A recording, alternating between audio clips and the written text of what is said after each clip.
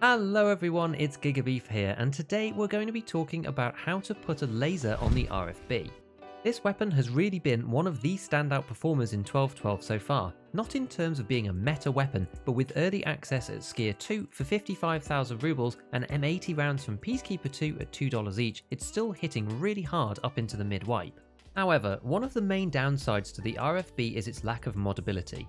This secures its position as a value weapon, as we can only dream of getting anywhere close to the good 308 weapons in terms of recoil, such as the SR25 and the M1A. One unfortunate aspect to this is the difficulty in attaching lasers onto the RFB, as in Tarkov it has no rails innately that give it compatibility with tactical devices. It's widely thought that it's downright impossible to use a laser for this gun at all, but this is in fact not the case. The first way, which has been around for a while, is using the Holosun HS401G5 reflex sight.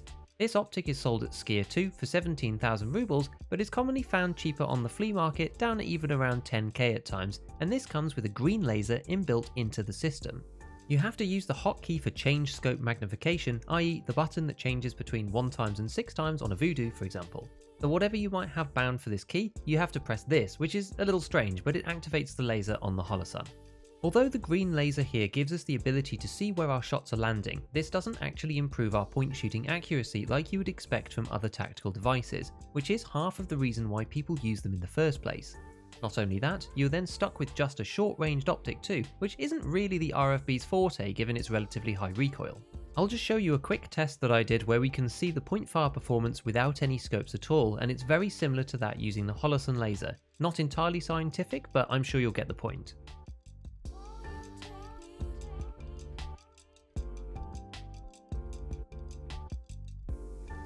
But with the new additions in 1212, there is a new way to do this properly. Yes, we can have a long range scope, a red dot, and a laser all at the same time. And before you ask, yep, this build is a little bit memey. I'm trying not to make too much of a habit of this, but I just can't seem to help it at the moment. Alright, so what we're going to be using to get this done is the new Wilcox Raptor ES Tactical Rangefinder, which is sold by Jaeger 3 for 23,000 rubles and about double that on the flea. As well as being a rangefinder, the Raptor comes with a regular assortment of lasers and given that it's a tactical device, this means that the point fire spread bonus also comes along with it. You can see from the clip in the next test the dramatic improvement in performance of the overall spread when using it with the laser activated.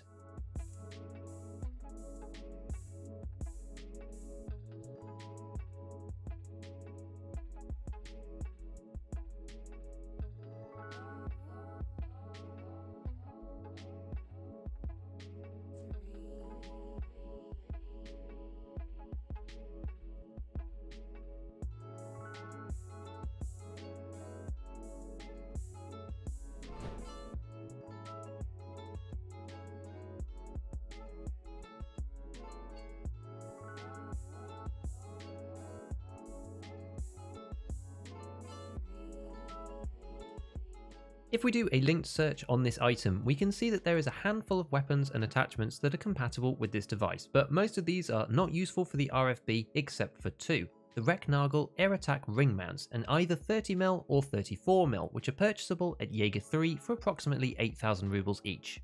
What makes these different to the other mounts that fit on top of the RFB rail is that the Picatinnys that come with it are long enough to fit the rangefinder on top, meaning that we can get the point fire bonus onto this weapon for the first time in Tarkov's history. Not only that, but because inherently it's attached to a ring mount, we can put something like the TAC 30 into it and have a long range optic as well as a 1 times mode too, giving us way more flexibility than ever before with this combination of parts, not to mention the rangefinder itself.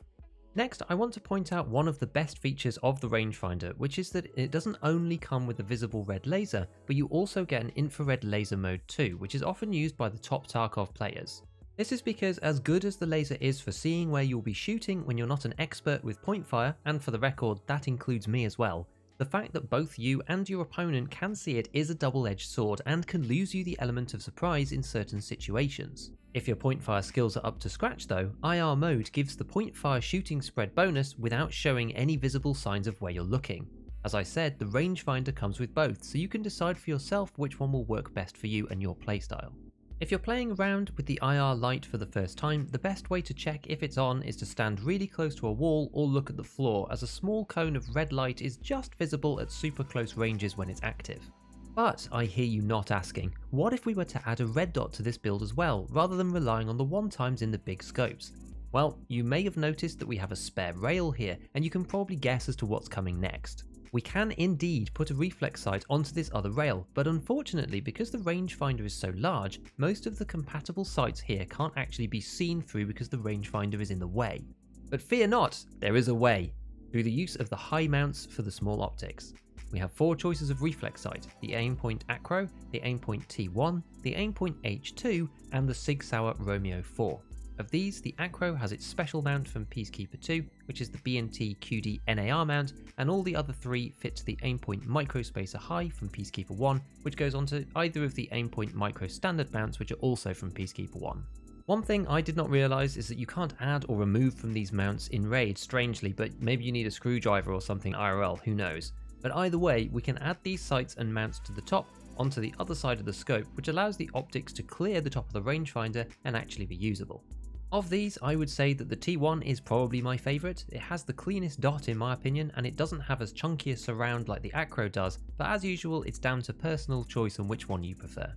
Also, bear in mind that you can have these swapped the other way around as well, so again, whether you prefer to have the scope closer to your face with a bigger dot, or further away with a smaller dot and less vision inside the actual sight itself is really up to you. So there you have it, an RFB with a rangefinder, a high-powered optic, a reflex sight, and a tactical device that reduces point fire spread in either visible or IR laser modes. Whoever said you can't have it all, eh? So as usual, if you learned something, please consider dropping a like and a comment. To see when I'm streaming, you can follow me on Twitter and Twitch. Check out our Scav Talk podcast in the links below, and with all that said, I'll see you next time, and as always, have fun in your raids.